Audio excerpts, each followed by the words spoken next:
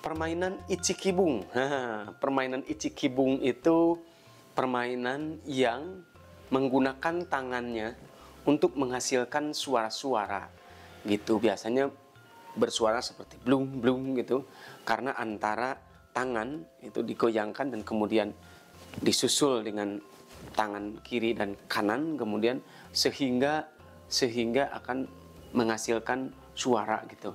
Biasanya dulu dimainkan ketika anak-anak akan mandi ke sungai dan harus bangun pagi dan masih gelap ya. Biasanya untuk mengusir rasa sepi gitu, rasa sepi agar ada suara-suara dan kita tahu bahwa kalau ada yang lagi bermain icikibung di belakang berarti ada orang lagi yang sedang mandi dan kemudian rasa apa namanya rasa takut kita jadi hilang gitu. Tapi dalam perkembangannya permainan icikibung itu uh, dimainkan tidak hanya pada saat anak-anak uh, atau uh, orang pergi ke sungai di pagi hari yang sangat gelap, tapi juga dimainkan uh, di pada siang hari oleh anak-anak gitu. Dan anak-anak memainkan itu untuk hiburan semata, kemudian siapa yang paling keras suaranya, kemudian akan menghibur, uh, menyenangkan, dan kemudian uh, mandi itu malah apa menjadi sebuah kegiatan yang yang sangat mengasihkan untuk anak-anak.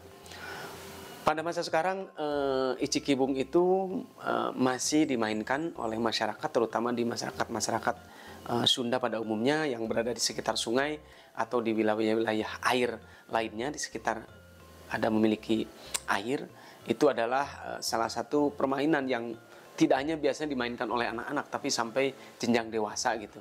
Uh, ada keasikan tersendiri pada saat membunyikan atau menghasilkan suara dari uh, tepukan kita terhadap air.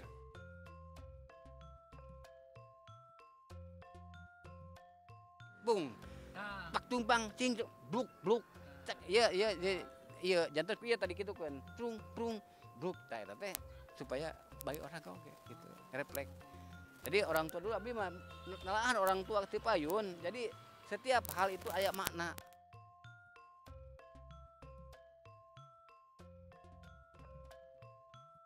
Nah, permainan icikibung bahkan disebutkan juga dalam uh, bentuk uh, penelitian uh, sejarah mengatakan bahwa icikibung itu ketika dinaikkan ke atas maka kemudian menjadi permainan uh, celempungan, celempung, celempung, bung bung sama suaranya menghasilkan suara tersebut dan uh, itu adalah adaptasi dari ketika pemain icikibung masuk ke darat dan menjadi satu permainan lagi di Sunda namanya uh, celempung gitu yang di menggunakan bambu gitu.